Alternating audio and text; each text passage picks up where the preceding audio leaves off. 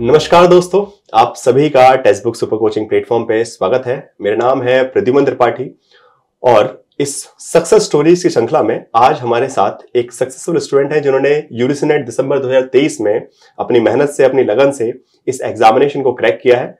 सो so, ज्योति जी आपका स्वागत है text book super coaching platform पे। अच्छा लगा कि आप यहाँ आई और आपकी जो जो प्रिपरेशन की जर्नी है जो सक्सेस सक्सेस आपने जो अचीव की है उसकी इंस्पायरिंग जर्नी जो है आप हमारे साथ शेयर करें जिससे दूसरे ऑडियंस भी जो है जो स्टूडेंट्स हैं वो भी आपके स्टोरी से इंस्पायर होंगे और आपके आइडियाज़ से आपके स्टडीज़ से थोड़ा सीख के वो अगले अटेम्प्ट में हेल्प लेंगे। सो so, आपका सबसे पहले स्वागत है प्लेटफॉर्म में। सो so, सबसे पहले मैं जानना चाहूँगा कि आपका बैकग्राउंड क्या रहा है मतलब एजुकेशनल बैकग्राउंड क्या रहा है? यूडीसीनेट एग्ज़ाम देने से पहले आपने क्या क्या चीज़ें की हुई है मतलब ग्रेजुएशन मास्टर्स वगैरह? सर ग्रेजुएशन मैंने पीजीडीवी से किया है। हम्म। और मैंने मास्टर शिवाजी कॉलेज से किया। अच्छा। और ये मेरा थर्ड अटैम्प है। अच्छा। फ़र्स्ट अटैम्प तो मैंने ऐसे ही दे दिया था जनरली हम्म। देखने के लिए पैटर्न क्या है, है कहाँ लाई करती हूँ। फिर सेकंड में मैंने अच्छे से पढ़ा था। देन सेकंड जून थोड़ा टफ था एग्ज़ाम दैट्स वाई उस टाइम पे नहीं हो पाया। मतलब आपने मार्च वाला अटेम्प्ट दिया होगा? मार्च वाला फ़र्स्ट अटेम्प्ट होगा आपका। यस सर यस उसके बाद जून में एंड देन उसके बाद दिसंबर। यस सर मतलब एक साल के अंदर जो है नेट अचीव हो गया है। यस सर चलिए सो सबसे पहली बात तो जो आपने अब बिकॉज़ तीन अटेम्प्ट दिए हैं सो पहले अटेम्प्ट जैसे हम जब मल्टीपल अटेम्प्ट देते हैं बहुत सारे स्टूडेंट्स अटेम्प्ट देते हैं और सिलेक्शन होता है नहीं होता तो हर अटेम्प्ट के बाद कुछ सीखते हैं हम लोग। सो so, आपका क्या सीख रही आपने जब दो अटेम्प्ट दिए उसके बाद थर्ड अटेम्प्ट में आपका फाइनली नेट क्रैक हुआ है। सो so, दो अटेम्प्ट में क्या सीखा जाए हमको? अपने जो अटेम्प्ट हम देते हैं उनसे क्या लर्निंग हमको लेनी चाहिए वो आपके हिसाब से क्या होती है? सर बेसिकली जहाँ मैं मिस्टेक कर रही थी हम्म। वो मुझे इस अटेम्प्ट पे समझ में आया कि मैं पेपर पैटर्न को नहीं समझ पा रही थी। कि मतलब किस यूनिट से क्या पूछा जा रहा है बेसिकली हम्म। तो पढ़ने को हम बहुत कुछ पढ़ सकते हैं। हम्म, कि मतलब एक यूनिट है उसमें आप पढ़ते जाओगे अगर आप और बहुत डीप पढ़ोगे तो पढ़ते ही रह जाओगे। तो सर वो चीज़ कहीं ना कहीं मैं गलत कर रही थी मैं पढ़ती जा रही थी। बैलेंस आउट नहीं बैलेंस नहीं बन पा रहा था। तो पहले अटेम्प्ट में तो पता ही नहीं था। सेकंड अटेम्प्ट में मैंने क्या किया मैंने थोड़ा बहुत यूट्यूब से स्टार्ट किया। हम्म। तो यूट्यूब पे पढ़ने के बाद थोड़ा सा समझ में तो आ गया कि कैसे क्या करना है। बट सर फिर मैं बुक्स के साथ जब जाने लगी जैसे ये सरस्वती आई के नोट्स वगैरह पॉलिटिकल के तो सर वो पढ़ते जाओगे तो पढ़ते ही जाओगे वाला सिस्टम है। तो सर जब मैंने पीवाई क्यूज उठाए आप आपने मेरे को सजेस्ट किया था कि मॉक टेक पीवाई क्यू दो ताकि आपको पता चले कैसे ये एग्ज़ाम का पैटर्न क्या है एग्ज़ाम का। तब मैंने जब वो पीवाईक्यूज लगाए पाँच साल के और फिर मॉक दिया तब आइडिया मुझे लग पाया एग्जैक्टली मुझे पढ़ना पढ़ना क्या है what to study what not to study ये सबसे इंपॉर्टेंट है। किसी भी एग्ज़ाम को क्रैक करने जा रहे हैं तो पहले ना कि यूजुअली मैं क्लास में ही बोलता हूँ कि अगर किसी नदी में आप कूदने जा रहे हैं तो पहले उसकी गहराई नाप लीजिए। यूरिसनेट एग्जामिनेशन इतना टफ एग्जामिनेशन नहीं है। अगर आप उसको स्टार्टिंग में प्रिपरेशन स्टार्ट करने से पहले अगर उसको एनालाइज कर लेंगे कि what they are looking for किसी टॉपिक में कितना गहराई में वो जा रहे हैं तो एक अंडरस्टैंडिंग आपकी बन जाएगी और चीज़ें फिर आपके लिए स्मूथ रहेंगी बिकॉज़ हर सब्जेक्ट लाइक पॉलिटिकल साइंस की बात करूँ मैं ज्योग्राफी हिस्ट्री जो भी सब्जेक्ट सब अपने बहुत वास्ट है। उसमें जितना नॉलेज आपके पास वो कम ही लगेगा। बट एग्ज़ाम को क्रैक करने के लिए कितना नॉलेज चाहिए और एग्ज़ाम की क्या डिमांड है वो समझना बहुत ज़रूरी है। तो वो आपको विद द अटेम्प्ट समझ में आने लगी कि हाँ ये रिक्वायरमेंट और इसलिए जो इस अटेम्प्ट में जो है आपको ये सक्सेस एक चीज़ और समझ में आई कि जब आप पेपर में बैठते हो हम्म। तो पेपर में जो मैनेजमेंट होता है ना वो बहुत मैटर करता है जैसे बहुत इंटेलिजेंट बच्चे कई बार नहीं कर पाते हैं कोच हम्म। बहुत बच्चे ऐसे हैं एवरेज है लेकिन उनको पता है कि क्वेश्चंस का कैसे प्ले करना है कौन से को ऑब्ज़र्व करके वाला भी सिस्टम होता है एक कॉमन सेंस होता है कि। भाई आप कोई क्वेश्चन पढ़ रहे हो तो ये मत सोचो कि दो हैं एलिमिनेट तो कर रहे हो। उसके बाद अपना कॉमन सेंस भी लगाओ कि इसमें इसका आंसर क्या होगा। मेनली वो जो एग्जामिनर है वो उसको पता है कि बच्चे बहुत पढ़ के आते हैं। हम्म। तो कई कई बार बच्चे बहुत ज़्यादा पढ़ के आने के बाद बहुत ज़्यादा सोच के सही मैंने एक क्वेश्चन ऐसे ही गलत किया है और मुझे बहुत रिग्रेट हुआ उसके लिए हाँ। कि गलत कर दिया। बट पहली जो गलती मैं कर रही थी उसके अकॉर्डिंगली ये सही था। ये चीज़ मतलब सीधी बात है ज़्यादा सोचना भी प्रॉब्लमेटिक करता है, है और बहुत अच्छी बात उन्होंने आपने जो बोली ना कि वहाँ पे आपका क्या प्रेशर मतलब जो होता है ना उसको, उसको मैनेज करना बहुत ज़रूरी है मतलब बिकॉज़ नॉलेज सबके पास बहुत सारी है। uh, सब अच्छे से पढ़ते हैं डिफरेंट सोर्सेज से पढ़ते हैं बट उस समय उसको एग्जीक्यूट करवाना uh, और अब अच्छा इसमें कहीं ना कहीं मुझे लगता है कि मॉक टेस्ट का और टेस्ट सीरीज़ का भी बहुत ज़्यादा हेल्प होता है सो आपके हिसाब से मॉक टेस्ट जब हम लगाते हैं सो so, उसमें क्या अप्रोच होना चाहिए? मॉक टेस्ट को अटेम्प्ट करते टाइम क्या किसी भी स्टूडेंट का अप्रोच क्या होना चाहिए? सर मेरा मानना है कि यूनिट वाइज जाए। हम्म। जैसे कोई एक टॉपिक क्लियर किया तुरंत उसका एक मॉक टेस्ट ले लीजिए। और जो नया क्वेश्चन मिल रहा है मतलब उस पर आपको उसके ऑप्शन आपने देखे ऑप्शन में कुछ नए थिंकर है जिनको आप बिल्कुल नहीं जा रहे हो। हम्म। तुरंत उनको स्विच करो।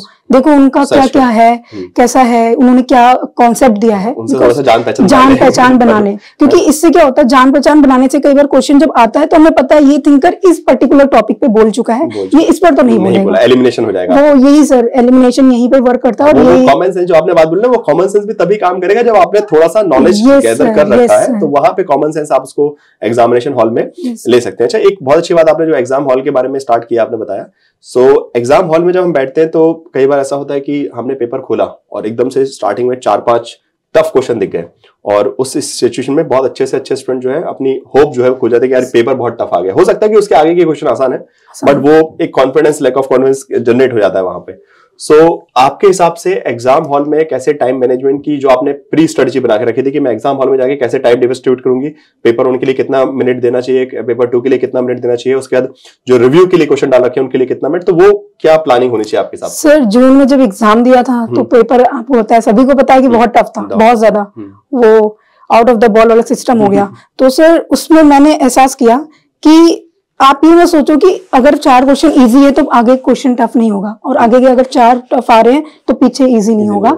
अपना पेशेंस बनाना बहुत ज़रूरी है। कैसा भी क्वेश्चन पहला एक क्वेश्चन आया टफ आया कोई बात नहीं। कर पा रहे हो करो अदरवाइज़ छोड़ दो। कोई बात नहीं उसको रिव्यू के लिए रख दो। और आराम से अगर गलत जा रहा है पेपर कैसा भी है लेंदी है परेशान नहीं होना है। हाँ, बस क्वेश्चन को अगर अपना काम छोड़ हाँ, दिया आपने तो फिर वो बहुत सिंसियरली उसको हैंडल करना है। अगर वो एग्ज़ाम टफ होगा तो वो बाद में डिसाइड होगा हाँ, क्या होगा क्या नहीं टफ हुआ वो सबके लिए टफ होगा। अगर आप सोचेंगे कि नहीं मेरे लिए टफ लग रहा है तो फिर वो बिकॉज़ वो सर पचास क्वेश्चन करने के बाद दिमाग खराब हो जाता है। फिर वो एहसास होता है अब तो मैं गई। गई। क्योंकि जून में ऐसे ही हुआ था मैं गई।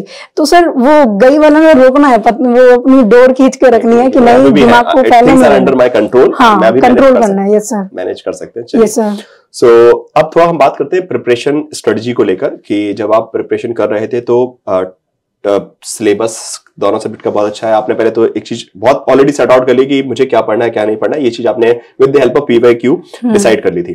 तो उसके अलावा जो प्रिपरेशन स्ट्रेटेजी में सिलेबस कवरेज है ठीक है जो सबसे बड़ा पार्ट होता है कि इतना बड़ा सिलेबस उसको कवर करना है तो वो आपको क्या लगता है कितना टाइम रिक्वायर्ड होता है एक सही रूप से स्टूडेंट अगर प्रिपेरेशन कर रहा है तो पूरे सिलेबस को अगर हमको लेकर चलना फॉर एग्ज़ाम्पल हम पॉलिटिकल साइंस की बात करते हैं कि पॉलिटिकल साइंस को अगर पूरा दस यूनिट को हमको कवर करना है तो अगर स्मार्टली कवर करें तो कितना टाइम लग सकता है एवरेजली सर सबकी कंडीशन अलग है। हाँ। जहाँ तक मैं कोई वर्किंग है तो वो अपने हाँ, हिसाब से पढ़ रहा है।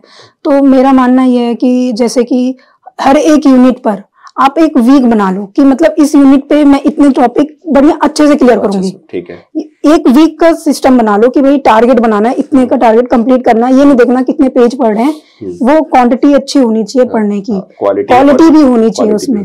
और सर मेनली क्या है ना जो आपको इजी लगता है। हम्म। सबसे पहले वहाँ से स्टार्ट क्योंकि कोई भी एग्ज़ाम जो प्रिपेयर करते हैं ना अगर हम टफ उठा लेते हैं हाँ। तो वो थोड़ा सा अच्छा नहीं लगता। फिर पढ़ने बैठने का मन नहीं होता। चार घंटा पाँच हम्म। घंटा बैठने की इच्छा ही नहीं जमेगी। और अगर इजी चीज़ उठा ली जो आपकी इंटरेस्टिंग है कि भाई ये टॉपिक मुझे बहुत अच्छा लगता है या ये थिंकर अच्छा लगता है। थोड़ा पढ़ने की हैबिट बन जाए तो वो सर वो टफ चीज़ें भी आराम से हो जाती है। वो सबका अलग है। इसको भी देख लेते हैं। सर सबका अलग है। जैसे मैं मैं जॉब कर रही थी उसके साथ मैंने स्टडी किया। क्या बात है। मतलब जॉब तो के साथ भी आपने क्रैक किया ये भी बहुत चार चार घंटे पढ़ती थी बस। क्या बात है। देखिए तो बहुत सारे स्टूडेंट्स के मेरे पास मैसेज आता है कि सर हम तो वर्किंग में है काम करते हैं इतना टाइम ही नहीं मिलता कि हम प्रिपरेशन करें। तो like Jyoti would be the better example here कि आप चार घंटे भी अगर आप दिन में निकाल लेते हो और इतना निकल जाता है। किसी भी जॉब के साथ में रात में दो घंटे आप निकाल लीजिए सुबह थोड़ा बहुत टाइम निकाल लीजिए। तो अगर आपके अंदर जिद होगी और आपने जुनून होगा ठान लिया है तो आप वक्त निकाल लेंगे। और नहीं है तो फिर वक्त के बहाने बहुत सारे मिल जाते हैं कि ना पढ़ने के बहाने बहुत सारे दुनिया में मेरे हिसाब से। Yes. और अगर किसी ने ठान लिया है कि हाँ मुझे करना है तो विद देयर बिकॉज़ सी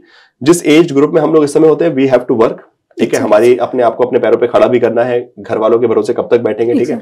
तो उन सब कंडीशंस में वर्क करते हुए आ, हो सकता है कि हाँ आप एग्ज़ाम के टाइम पे थोड़ी सी छुट्टी एक्स्ट्रा ले लीजिए थोड़ा सा कहीं से टाइम मैनेज एक्स्ट्रा कर लीजिए बिकॉज़ हाँ एग्ज़ाम बिल्कुल जब क्रूशल आखिरी के दो महीने होते हैं एक महीने बचता है तो उस समय थोड़ा सा रिक्वायरमेंट ज़्यादा ज़्यादा आ जाती है कि आप बहुत सारी चीज़ें रिवाइज करनी है आपको पूरा सिलेबस तो वैसे नॉर्मली जैसे आपने बताया कि हर टॉपिक के लिए एक वीक भी अगर आप लेके चलते हैं प्रिपरेशन कर लिए तो अच्छा खासा आपको ढाई महीने में मेरे हिसाब से जो चार चार हफ़्ते के हिसाब से दो दो हफ़्ते और लग गए आपको तो एटलीस्ट ढाई महीने के अंदर आप अच्छे से सिलेबस को टू द पॉइंट जो मोस्ट इंपॉर्टेंट टॉपिक्स है उसको कवर कर सकते हैं। चलिए सो नेक्स्ट एक और मेजर uh, प्रॉब्लम स्टूडेंट्स को फेस होती है कि पेपर वन जो है उनको बड़ा टिपिकल लगता है ठीक yes. है और स्पेशली आर्ट्स फ़ील्ड के जो स्टूडेंट्स हैं ह्यूमैनिटीज के हैं भले वो हिस्ट्री के हैं ज्योग्राफी के हैं पॉलिटिकल साइंस के paper one is struggling thing और मैक्सिमम uh, लोगों का जो नेट या फिर जेआरएफ रुकता है वो पेपर वन में अच्छा परफॉर्मेंस yes, नहीं होने की सकते तो पेपर वन में आपके हिसाब से क्या स्ट्रेटजी किसी भी स्टूडेंट को लेकर चलनी चाहिए जब हम वो प्रिपेयर कर रहे हैं तो सर पेपर वन की स्टडी तो मैंने सिर्फ़ यूट्यूब से की थी हम्म।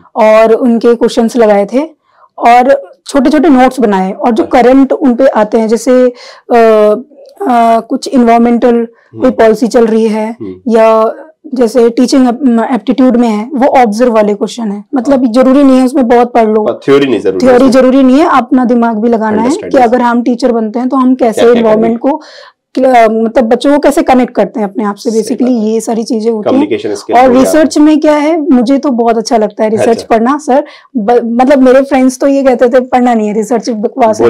बट सर मैंने एक महीना रिसर्च ऐसे पढ़ा था रूम बंद करके जैसे मैं हूँ और मेरी बुक है और मुझे बहुत मज़ा आया था। तो, तो सर वो मैंने सिर्फ़ एक महीना उसके बाद कभी रिसर्च रिवाइज भी नहीं किया है। तो वो मेरे लिए अच्छा अंडरस्टैंडिंग आपने जनरेट कर दी तो फिर वो और यहाँ पे अच्छी बात ये भी होती है कुछ कॉन्सेप्चुअल पार्ट की कि वो एक बार आपने कर लिया ना तो आपको ज़्यादा मेहनत नहीं लगेगी उसको करने में। मतलब एक बार का एफर्ट है जो हम्म। चीज़ें बहुत ज़्यादा टफ लग रही है उसमें एक बार लग के बैठ जाइए। एक बार लग के बैठ गए तो वो निपट जाएगा हमेशा के लिए। बाद में एग्ज़ाम के टाइम आपने प्रैक्टिस क्वेश्चन भी कर लिया तो सारी चीज़ें रिकॉर्ड इस बार का जो एग्ज़ाम था इसमें तो मैंने कुछ पढ़ा भी नहीं था। मतलब अच्छा। मैंने वो जून तक स्टडी की उसके बाद तो मैं काम में लग गई और बीमार भी हो गई। अच्छा। तो सर मैंने कुछ भी नहीं पढ़ा था।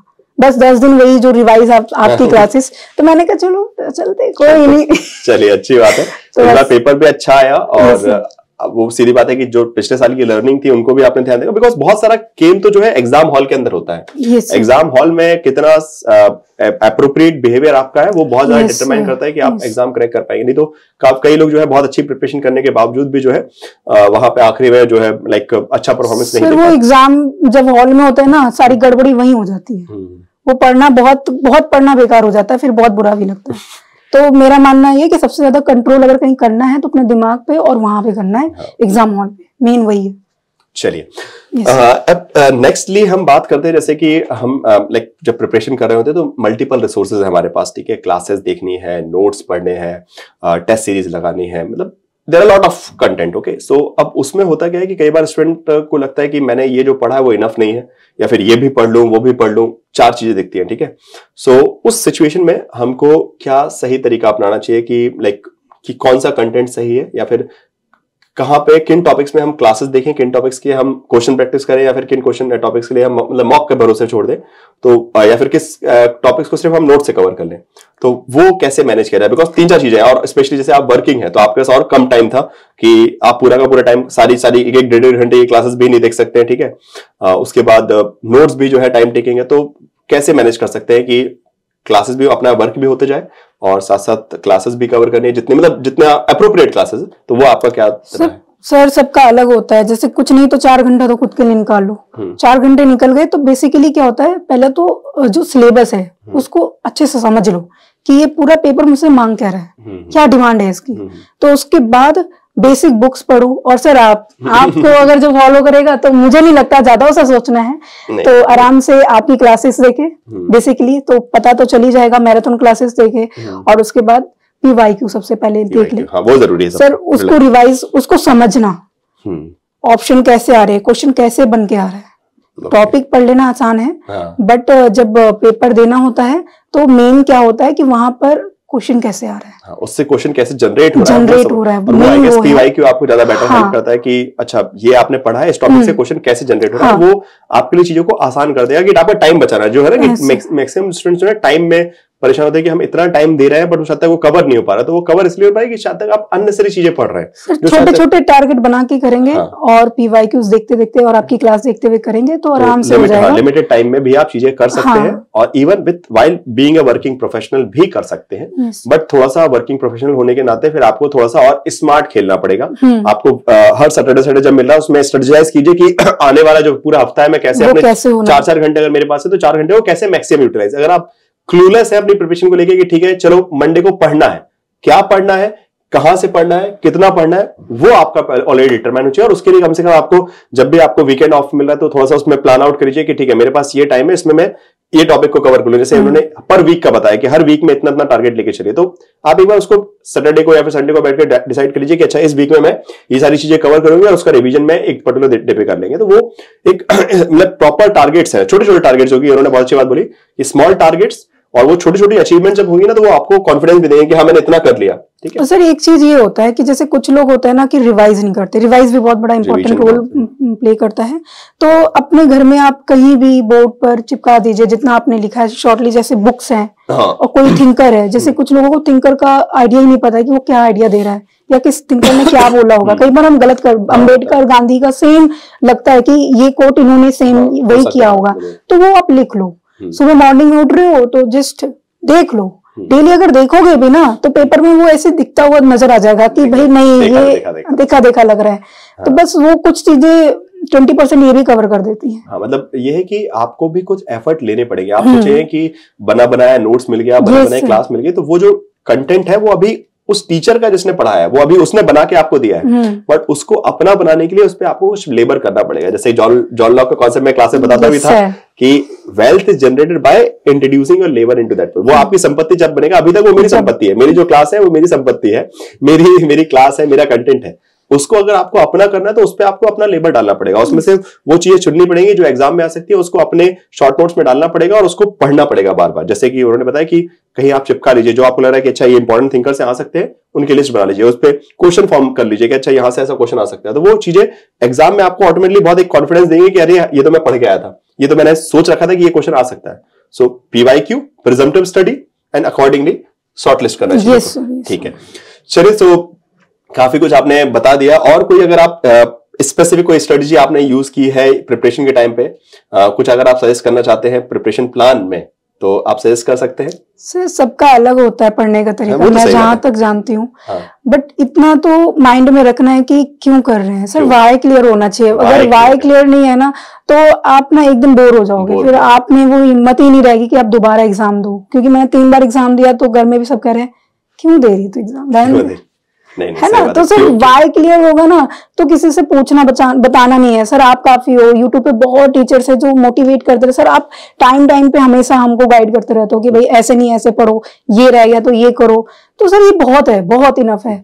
मेरे ख्याल से मैं क्या ही कहूँगी। नहीं नहीं अच्छी बात है। तो... और बाकी वाई वाली बात बहुत ज़रूरी है। आप कोई चीज़ क्यों कर रहे हैं उसका अगर आपके पास जवाब होगा ना तो वो उस चीज़ को करने में आपको आ, कभी भी शंका नहीं आएगी आप वक्त निकाल लेंगे। अगर आपको वाई का जवाब नहीं पता तो आप वक्त का बहाने मिल रहेंगे कि अभी मैं क्यों ही कर रहा हूँ ठीक है? हम्म। चलिए तो बहुत अच्छी कन्वर्सेशन रहा आपके साथ में। लास्ट में बिकॉज़ uh, ये वीडियो जो है आपके घर वाले भी देखेंगे आपके फैमिली फ्रेंड्स भी देखेंगे तो किसी uh, और को भी अगर आप uh, अपनी सक्सेस के लिए डेडिकेट करना चाहते हैं इसका क्रेडिट देना चाहते हैं तो आपके लिए ऑफ़ कोर्स मेरी फैमिली खासकर मेरे बड़े भैया हम्म। जिन्होंने मेरे एजुकेशन में मुझे बहुत सपोर्ट किया हम्म। वो कभी भी मुझे मतलब ये नहीं कहते थे कि अच्छा इतना कर लिया हो गया बहुत।